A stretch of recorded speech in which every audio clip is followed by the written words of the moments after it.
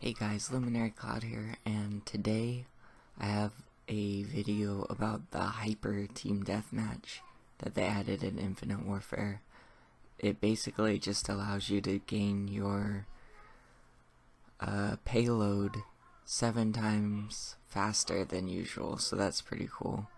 Uh, I have some things going on in my personal life, so I may not be able to get the uh, the Dying Light, the following up tomorrow, but I'm hoping that I'll get one up Thursday or possibly next week.